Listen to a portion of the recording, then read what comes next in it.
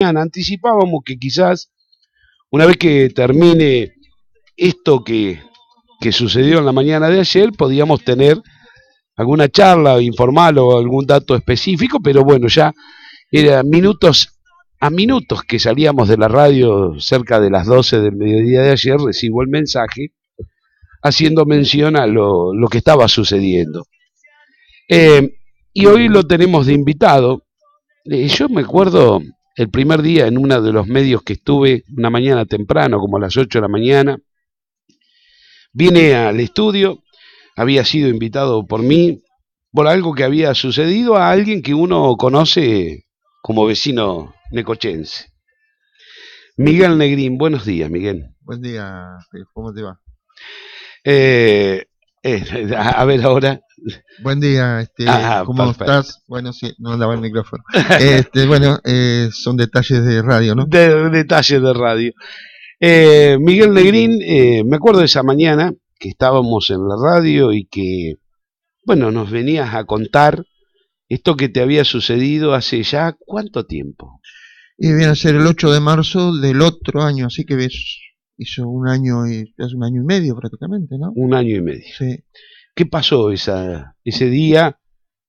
Bueno, eh, esa noche, eh, justamente mi hija estaba operada en la Cruz Azul y el chico este, Mauricio, mi nieto, no, no quería este, salir a, a la noche, a salir a bailar, porque ya había habido algunos problemitas, entonces dice, no, no quiero porque va a estar fulano, va a estar mengano, no.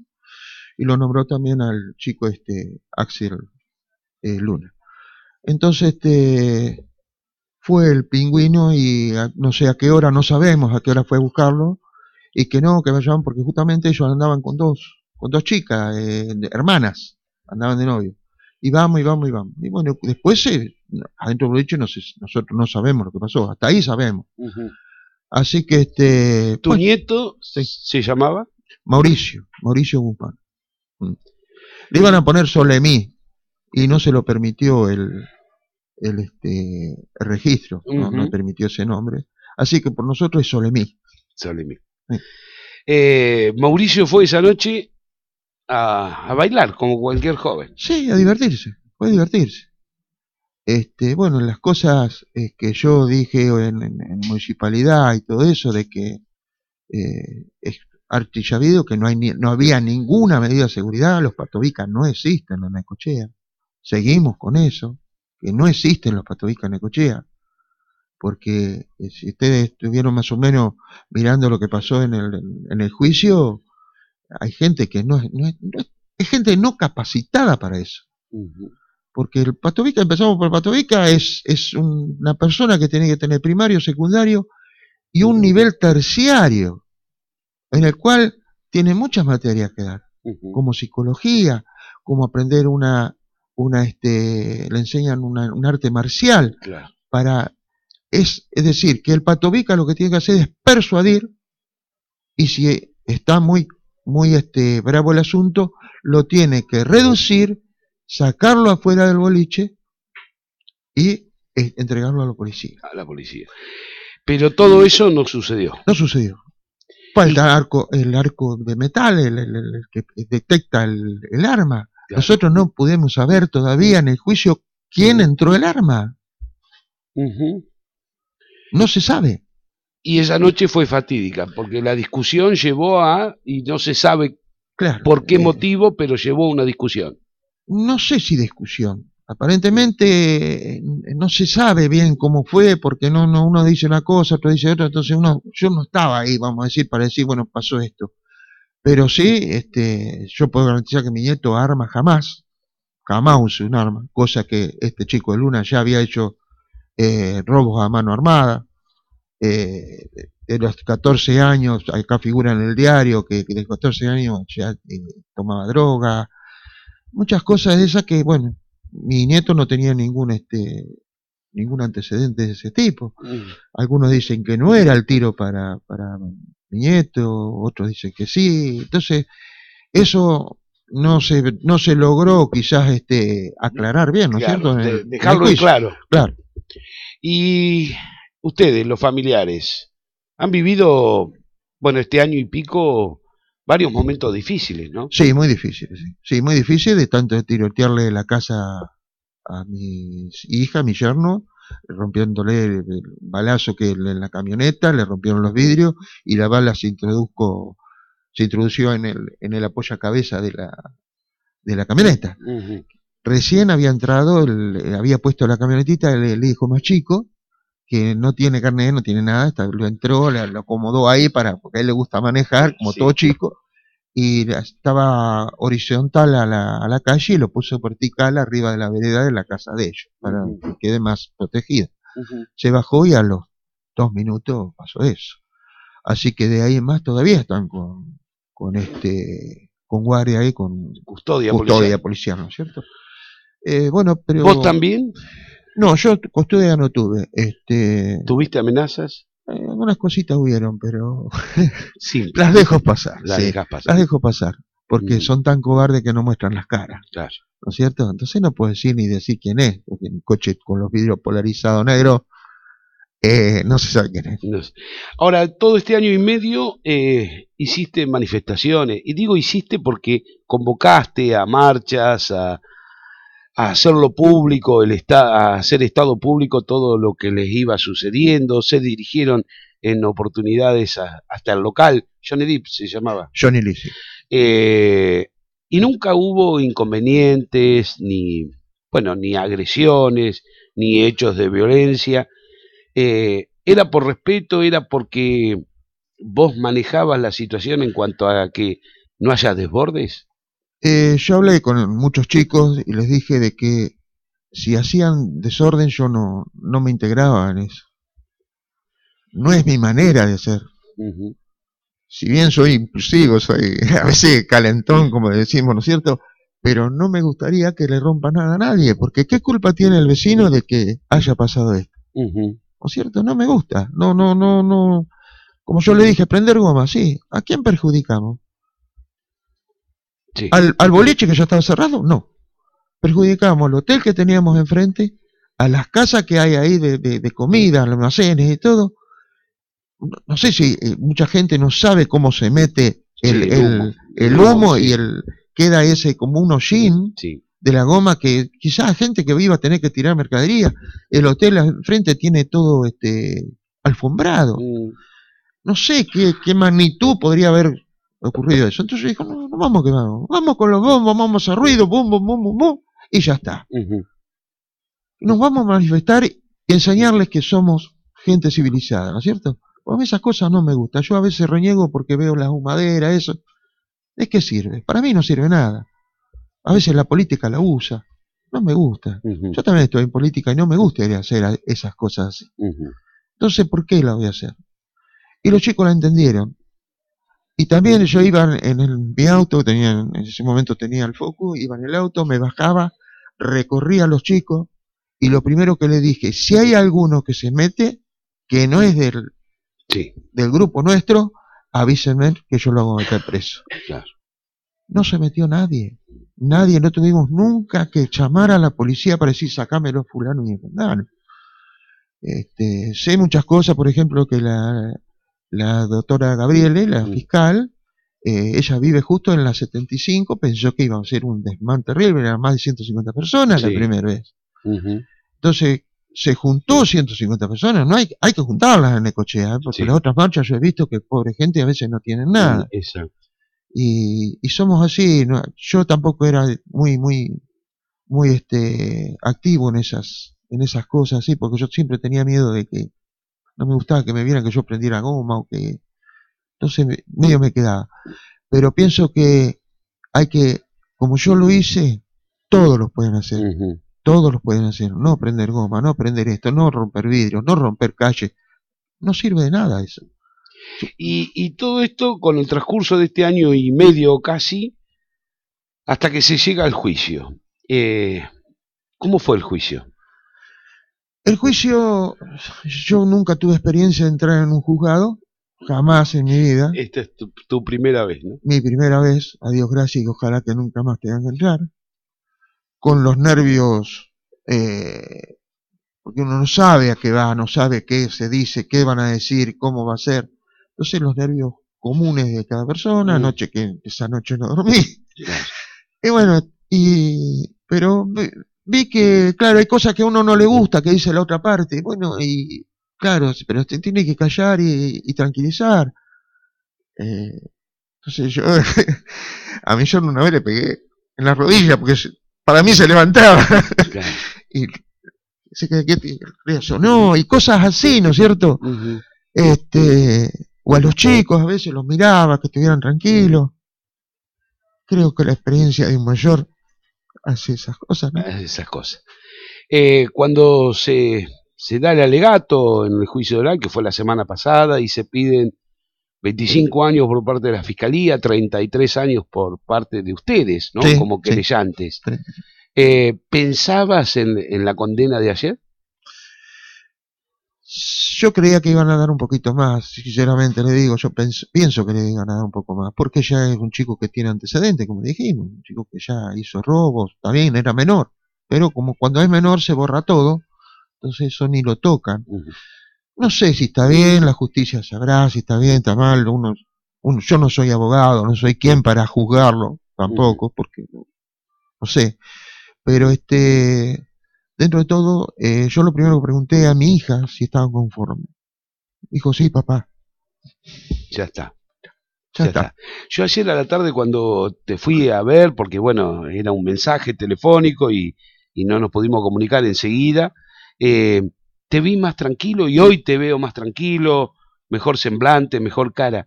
¿Es un alivio? Sí, sí, vos imaginate que yo cuando iba a la casa de mi hija, lo único que se hablaba y se hacía era de eso, a ver qué pasaba, qué no pasaba, con quién teníamos que hablar, con quién no teníamos que hablar. Era todo el día. Y de noche la mente eh, dormís, porque yo duermo, yo soy un tipo que duermo, duermo, duermo, pero me levantaba con dolor de cabeza, cosa que ahora me pasó. Claro. Ahora descansaste, Sí, estoy descansando, estás estoy descansando. descansando. Por es decir, es- viste que uno dice que descanse en paz. sí, Bueno, creo que mi nieto descansa en paz. claro. Eh, ayer, eh, cuando terminó, eh, hubo incidentes y en principio decían, che, habrá sido la familia de Guzmán, habrían sido ustedes, y cuando uno lee las crónicas de, de los que estaban en el lugar, nosotros estábamos en la radio, eh, fue exactamente al revés, ustedes no, no participaron en nada, ¿fue tan así? Nosotros lo único que hicimos, llevamos unos, unos tambores, unos redoblantes, y los chicos estaban todavía afuera, nosotros estábamos con ellos ahí. Hicieron unas vallas, cortaron la calle, la, la- la gente de tránsito. Y bueno, lo único que se gritaba, eh, bueno, se- se- y después eh, hubo como un poquito que salieron ellos afuera, que pienso que yo no lo hubiera hecho si estuviera en el caso en lugar de ellos, como provocando. Entonces, ahí yo los calmé un poco, chicos, pues se querían encima, chicos, paren, ta. Hasta acá llegamos, nosotros estamos esperando el juicio. Y sabíamos que iba, iba a ser algunos, no sabíamos qué, cuánto tiempo, pero que iba a salir a favorable a nosotros. Así que los calmaba un poco, los paraba un poco. Y bueno, se calmaron, ¿no es cierto? Eran mis nietos y chicos, primos, de todos muy, parientes de, de parte de mi, de mi yerno, ¿no es cierto? Porque yo familia acá, está mi hermano y después eh, las tres, tres hijas y acá. Entonces somos pocos de familia, la parte negrima, vamos a decir, ¿no es cierto?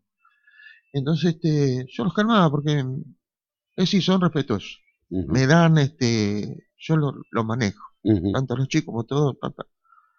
Entonces hubo unas, como unas provocaciones, salieron un poquito a provocar. Entonces los chicos medio se alteraron ahí, pero nadie hizo nada de la parte nuestra. Después de la parte de ellos, no sé, porque lo metieron hacia adentro, la policía lo metió a ellos adentro, eh, a, a- a la Sí, fiscalía, de... y bueno, siguieron con el bombo y, y redoblante y eso, y no pasó nada, no, solamente eso. Bien. Después cuando terminó el juicio salimos, nosotros nos abrazamos, hay fotos en el diario que recién las veo, Sí. que me enseñaste vos, y sí, y preguntarles si estaban conformes, los padres. claro. ¿Están conformes los padres? Listo. Entonces ya nos fuimos cada uno a su casa y ya está. Ya está. Eh, un alivio. Sí, sí. Un muy alivio, grande. muy grande. Créemelo que es muy grande, muy grande, y por eso que quizás se me nota que esté más contento. Más contento, sí. Eh, Sí, al principio la gente me decía que yo me, me quedaba como tildado, Ujú. porque yo no lo podía entender. Y trabajé mucho con, con respeto a lo que tiene que ser un boliche bailable en el coche. ¿Y seguís esto? ¿Vas a Sí, seguir? yo lo voy a seguir y va a seguir el abogado nuestro. Todos lo vamos a seguir porque eh, es una vergüenza, una vergüenza que haya menores adentro del juicio, adentro del boliche, perdón, Sí. que en el cual en el juicio salieron, que había menores Cuando está prohibido. cuando está prohibido. Eso, bueno, primera. Segunda, no sabemos cómo entró el arma, por no tener un arco que detecta metal. Eh, sí. Sí, sí, detector de Después, metales. no hablemos de las habilitaciones. Las habilitaciones no era boliche bailable. ¿Cómo no era boliche? No es boliche bailable, es resto bar. Entonces, el resto bar no tiene nada que ver con boliche bailable. El único boliche bailable que está en la 85, ¿Cinco? 83, 85, entre al lado del, del Hotel San Martín, creo que Sí, sí, Bueno, entre seis y Eso ocho. sí, porque hay una ley, había una- un decreto, vamos a decir, que entre 79 a 89 Ujú. y de 10 a 2, no, era como residencial, no podía haber boliches bailables. Pero eso fue antes, el- ellos, esa gente estaba antes, entonces el único que podía estar permitido. A ver, a No ver hay si te más. entendí. Vos decís que las ordenanzas indican que entre 10 y 2 y entre 79 y 89 no puede haber No. Boliche bailable. Boliche bailable. Por eso no hay boliche bailable como tal, Claro, habilitados claro, como tal. Claro, el único que ahora, por única vez, y no sé por qué, Tom John le dieron a que fuera boliche bailable. Porque se precisa boliche bailable. Estoy de acuerdo. Ya Ujú. que sea provisorio lo que hay, pero sí que tenga los patobicas. Que sí que tenga las cámaras que tiene que tener, como dice, las leyes que hay después de Cromañón. Ujú. Yo cuando pasó esto, yo tuve tres noches sin dormir. Me puse en la computadora, yo no soy letrado, tengo tercer año industrial, ¿no es cierto? Pero yo me metí en la computadora, están todas, todas las leyes que tiene que ser un boliche bailable, después de Cromañón. Ujú. A nivel nacional, a nivel provincial. Pero acá no se cumple ninguna. Ninguna se cumple de las leyes que todas las que están. Entonces, este, yo voy a seguir luchándola. Voy a seguir luchando. El, el motivo es para que no vuelva a suceder lo mismo. No puede ser que vos- vos- tu hijo entre y se vaya, o tu nieto, o sea quien sea, sea quien sea, no importa quién sea. Cuando es menor hay alcohol. Ahí, ahí se, en el juicio, eh, yo lo que veo de que es lo que se comentó es alcohol, es minoridad, sin seguridad. Entonces no, ¿Y droga también? no. Yo eso no te lo puedo decir, pero Se habló muchas veces. ¿no? se En habló muchas veces, ¿viste? Pero yo no lo puedo certificar, porque Claro. yo nunca fui un boliche, No. sinceramente. Íbamos antes, nosotros cuando íbamos a divertirnos, y, y teníamos que llevar traje y corbata, si no, no nos dejaban el Club Rivadavia. Sí. ¿eh? Yo siempre cuento una anécdota que me puse un cinto de, de, de una chica que iba con nosotros, me- un, sí, un cinto del vestido, me lo puse como corbata. Y el policía que estaba me dijo, no te pega muy bien, pero pasa. Claro. Entonces, era eso, nada más. Después yo jamás, jamás peleé, jamás yo vi que, que no, estaba, estaba la policía en ese momento. Que bueno, ahora por muchas cosas ahora no se puede estar la policía porque tiene armas, porque, bueno, porque hay tanto. Después la cantidad de gente que había. Claro. Es una persona por metro cuadrado. Mm. ¿Qué tiene que tener el boliche? No sé las que había ahí adentro. Sí, otro de los temas. ¿no? Otro de los temas. Entonces, ¿cómo vos vas a, a prevenir una cosa si no tenés patobica, si no tenés la gente que tenés que dejar meter adentro, si no tenés el arco para detectar metales, si no tenés, no tenés nada, nada? Por Sí. favor, que hagan cumplir las leyes. Eh, ni hablar en cuanto a los sonidos, eh, el- eh, la calidad de los sonidos, lo que afecta al Bueno. medio ambiente y a los vecinos, ¿no? Eso también No, es, no, es es terrible. parte de todo Es eso. terrible. Nosotros tenemos una señora que estuvo muy de acuerdo con nosotros, estuvo trabajando con nosotros, se tuvo que mudar porque tiene un problema auditivo de que eh, es terrible porque se puede volver loco la familia. Eh, va- yo me fui enterando las cosas. La música que tenemos actualmente, ese bumbi, bumbi, pum, Sí.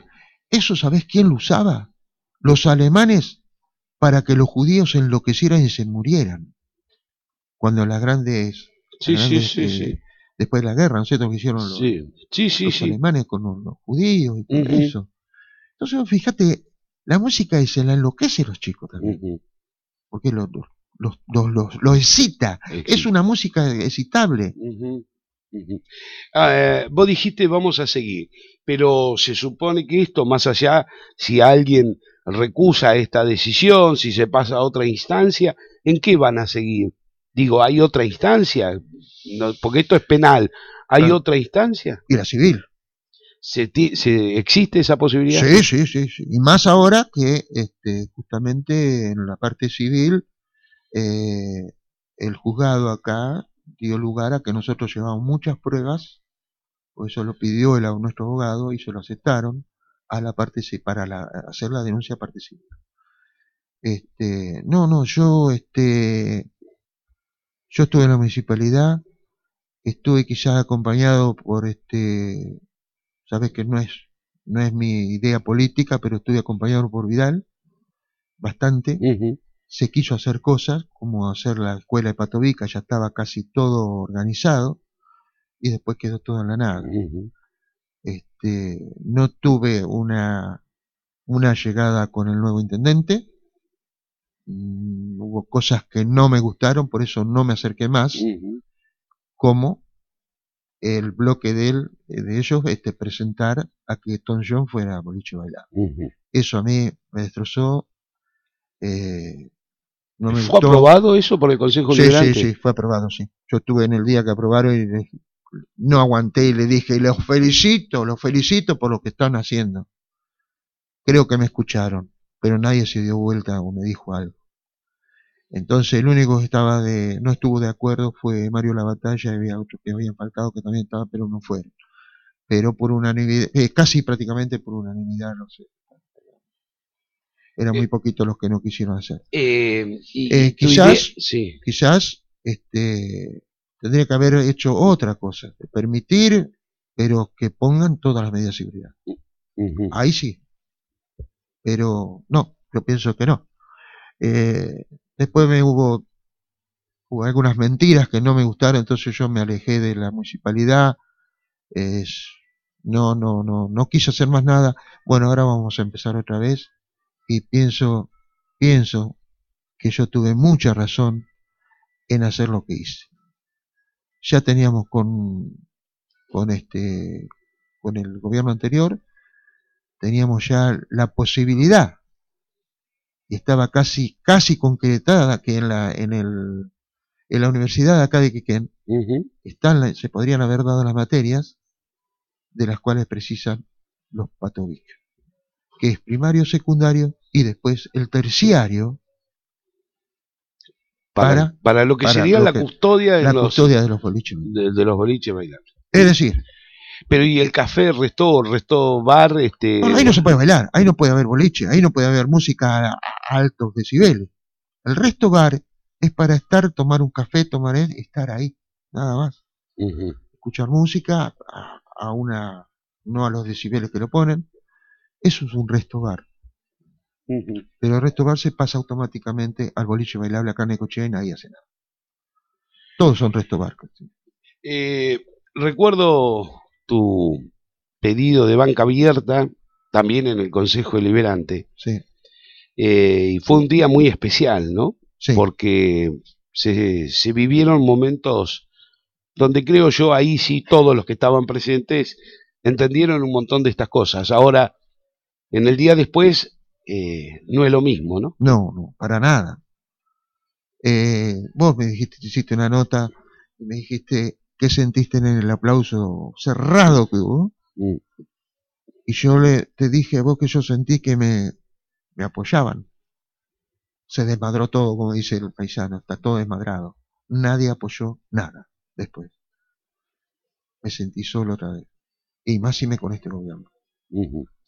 Eh, Miguel, yo te agradezco, como lo hicimos desde el primer día que, pasó todo esto, eh, el hecho de que hoy estés también, eh, bueno, en este caso, dándote la posibilidad de, expresarte, porque también planteaste a la sociedad que sin agresiones, sin, sin malos modos, sino simplemente en la búsqueda de la justicia, eh, no sé si es justicia esto, ¿no? Porque no, vas, no recuperas tu nieto, No, pero, pero es justicia. pero es es- justicia. Eso es justicia al fin, ¿no es cierto?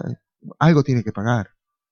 Yo no puedo decirle a un juez que tiene su estudio que tiene, cuánto tiene que dar o cuánto no tiene que dar. Si fuera por mí, perpetua, y no, pero no es así.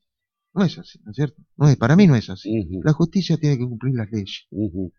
Entonces, y la- nosotros tenemos que cumplir las leyes. Cada ciudadano tiene que cumplir las leyes. Yo no puedo poner en mi taller, eh, que, tengo taller de electricidad, no puedo poner, no sé, un bolillo bailable. Tengo fosa y todo, así que te puedes imaginar. Después ya los antecedentes que tienen algunos boliches. Hay antecedentes. Sí, En ese lugar En ese lugar hubo muchos antecedentes. ¿Hay Entonces, responsables eh, privados en todo esto o, o en esta etapa o quizás en la próxima sí aparezcan? Yo pienso que va a haber responsable de todo esto. Va a haber responsable. Hay responsable. Para mí hay responsables, sí, quiénes son. Pero yo voy a esperar a que la justicia también aclare, ¿no es cierto? Con el abogado nuestro. Yo no puedo dar nombre, no puedo porque, bueno, ¿no es cierto? Por ahí digo algo en contra mío porque yo soy Sí. electricidad lo tengo bien, nada más. Nada más, sí. Este, y después una persona que me metí en estos casos. Eh, es como yo te dije, yo quería ver qué se podía hacer. Yo no pido que la noche se, no haya más noche, que no haya más baile. Por mucho se creyó que yo quería que cerraran todos los boliches. No. Vamos a poner la medida de seguridad. ¿Cuánto te cobran? Si es por plata, ¿cuánto te cobran una cerveza ahí adentro? Sí, sí, sí. ¿Cuánto te cobran un vaso de agua ahí adentro? Una Coca-Cola. Entonces, ganan mucha plata. Porque uno los ve que andan en camionetas RAM, que andan en camionetas. Yo tengo una moneda 98, ahora una combi. Y he laburado toda mi vida. A mí Sí. nadie me puede decir que yo no laburé, todos me conocen en cochea. Entonces, está bien, yo estoy de acuerdo que ganen mucha plata, no me interesa. Pero que pongan las medidas de seguridad todos los boliches como Que cumplan las normas. las normas. Que- y que la municipalidad las haga cumplir. Vos salís sin casco en la moto, ¿qué te pasa? No, sí, Tendría, tendría que haber multas y de a poco se están cumpliendo con las multas, sí. Tendría que haber, tendría que haber clausuras en los negocios. Clausurar los negocios. Hasta que vos no pongas todo, no podés abrir. Ujú. Y van a abrir. Y van a abrir porque si tienen todo, está bien. Ujú. Acá te, te pasa el bombero para decir si están los matafuegos. Sí, no sé verdad. cómo estarán, mirá lo que te digo, las, las puertas de, de escape o de las puertas de emergencia que tenía que tener, no sé cómo estarán. En ese boliche no sé si había. Y si había, estaba cerrada, estaba clausurada. Después vos fijaste otra cosa, yo a veces me, me olvido las cosas, pero a mi nieto lo sacaron afuera y lo llevaron en el auto de él hasta el hospital. No hay una medida de seguridad adentro que tiene que haber un lugar y los patobicas tienen que tener la parte de primeros auxilios. Mm. ¿eh? ¿Cómo sé yo si no lo hubiera dejado planchadito y lo hubiera llevado a una ambulancia? La bala no hubiera seguido recorriendo el camino, como lo hizo que llegó al corazón. Porque la bala sigue caminando. Entonces yo tengo esas preguntas. Claro. Fíjate un albañil, patobica. Otro que no sé qué era, que pobre hombre no sabía ni hablar. Entonces se ve que no tiene una educación, no sé si te diría primaria, es patobica. Yo no lo juzgo a ellos, ¿eh? yo juzgo, voy a juzgar a la persona que los, hizo, los puso como patobica. Ese es el problema. Porque todos queremos trabajar y por ahí nos parece que no. Un albañil, patobica, Eh, Miguel, te agradecemos nuevamente y no sé si querés agregar algo más, si te quedó algo más en el tintero, más allá de las preguntas que te pudimos hacer. Mira, agradecer, tengo que agradecer a toda la gente que nos ayudó. Tanto la policía, ¿Policía? ¿eh? ¿La policía? Sí, nos amparó mucho, nos cuidó. Y yo les pedía que nos cuidara. Yo le dije a los chicos cuando estábamos haciendo la, la, la primer marcha, eran más de 150 personas. Chicos, si ustedes ven alguno que no es nuestro y que quiere hacer lío, me llaman. Y yo le avisaba a la policía cuando íbamos a hacer la marcha. Y ellos estaban contentos porque yo les avisaba. O si no me venía me preguntaban, Miguel, ¿vamos a hacer marcha? Vamos a hacer marcha. ¿De dónde a dónde? De tal lado. ¿Van a ir? Sí, nosotros vamos a proteger. No se asuste, porque nosotros protegemos. Perfecto. Nos protegieron. Yo no estoy en contra de la policía. Al contrario, me ayudaron mucho. Me ayudaron mucho. Yo las veces que, que hablé con uno, hablé con otro, venían a mi casa, Miguel, ¿qué van a hacer? Eh, vimos por Facebook esto que van a hacer. Sí, ¿de dónde van a salir? De tal lado a tal lado. Y yo me sentía protegido. Como debe ser, ¿no? Yo pienso que muchos le decimos a la policía, a la policía, pero ¿qué medios tiene la policía? Yo veo con la custodia que tenemos, eh, eh, que tiene mi hija, todavía la tiene la custodia. Y yo a veces me da lástima a los pobres chicos. Hay gente, policías que van sin, sin este eh, chaleco. chaleco de seguridad. Los, no hablemos de los móviles. ¿Mm? Hay chicos que los dejan solos. Yo eso lo veo mal. No puede, no puede la policía trabajar de esa manera. La policía está para cumplir, hacer cumplir las órdenes, hacer cumplir las cosas. Yo lo acepto. Yo lo acepto. Si yo estoy haciendo algo malo, la policía me tiene que detener. No que porque soy hijo o amigo o esto no hacen nada. No. Y tenemos casos de eso que ha pasado. No digo que no. Pero yo a los jefes siempre les agradecí. Y a los, a veces yo iba, no sé si vos viste, yo le daba la mano los que estaban ahí. Porque nos cuidaban. A mí me dijo el, uno de los, de los comisarios, Miguel, si vos ves algo raro en las marchas, me avisás y yo te lo saco. No precisé. ¿Mm? Pero yo me sentía protegido. Y que mi gente, todos los chicos estos que iban, estaban protegidos. Yo no podía proteger a los chicos. No. La policía sí. Y lo hizo. Yo me sentí protegido. Entonces yo le tengo que agradecer a la policía. Si bien tuvimos algunos encontronazos con uno con otro que no me gustó, obvio. siempre hay. Obvio. Pero cuando en las marchas yo me sentí muy protegido. Y ahora mismo también. Tengo muchos amigos, a mí me conoce todo el mundo en Necochea. Hay policía que me dice, Miguel, por favor, quédate tranquilo. Nosotros estamos para cuidarte. Y tienes razón. Ay, escúchame, camionero, habemos camionero de todo, electricista, habemos electricista de todo, mecánico. Hay de todo. Entonces yo no puedo juzgar toda la policía por uno, dos, tres que hay. Claro. Yo pienso que la policía tiene que cumplir su deber y quizás a veces les cortan las alas, no lo dejan. No lo porque tiene más problemas policía que, que, que, el ciudadano común. Miguel, te agradecemos. ¿eh? No, gracias vos, gracias porque siempre estás, gracias porque siempre te preocupaste por el tema. Así que estoy a tu disposición y sí, vamos a seguir, vamos a seguir en la parte ahora eh, civil sería. Civil, ¿no es cierto? Porque hay muchas, muchas cosas que no, que no pueden ser en Ecochea. Y quizás que esto sea para bien, para que todos los boliches bailables hagan en algún lugar que ya estaba previsto hace muchos años y quedó todo en la nada. Un lugar en el cual sea para boliches bailables, entonces la policía no tiene que correr 10 cuadras de un lado al otro. Y en la zona que está no puede estar porque ya había un decreto que no. Se pasaron al decreto por arriba, ¿no es cierto? En una unión ahí, que hubo una contra o dos contra, otros eh, fallaron, siendo que siempre me habían dado a mí y me escucharon a mí cuando yo les llevé lo que pasaba en los boliches Entonces quedé muy dolido con este gobierno que está. No fui nunca a hablar más con el intendente, siendo, siendo que con Vidal y con los demás yo tenía las puertas abiertas. Esta gente me cerró las puertas y lo primero que hizo es darle lugar a boliche bailable a Johnny Lee. No importa, tiene que haber boliche. Yo no soy que no tenga que haber boliche, pero que tenga las medidas que tiene que tener en las cuales, para mí, no las tiene.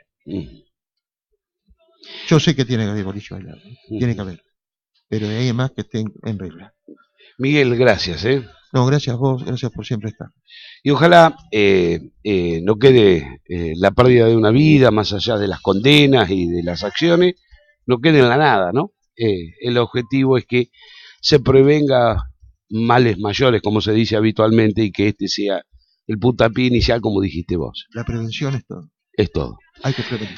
Miguel Negrín, el abuelo de, de Guzmán, y que ayer eh, condenaron por 23 años de prisión efectivo, ¿verdad? A cumplir. Sí, creo que es a cumplir, sí. sí. Bien. Este, yo no quería, me quedó muy claro ahí, pero nosotros pedimos los años que pedimos a cumplir. A cumplir. Es decir, de que no haya algunos sí, recursos. recursos que tanto y salen. Sí, el 2 este, por 1 y todo eso. Sí, todo eso. Así que, bueno, eh, pero más allá de esto, ojalá la justicia mantenga esta, esta línea y, y, la sociedad también, ¿no? Aprendamos a, a vivir en comunidad. Sí, sí, sí. Que vale, para eso vale la pena, pero no tiene que perderse vidas de por medio. Exactamente. Miguel Negrín, gracias. ¿eh? Pausa ya cuando transcurrieron 9 horas 50 minutos en la jornada de la mañana de La Voz de Quequén.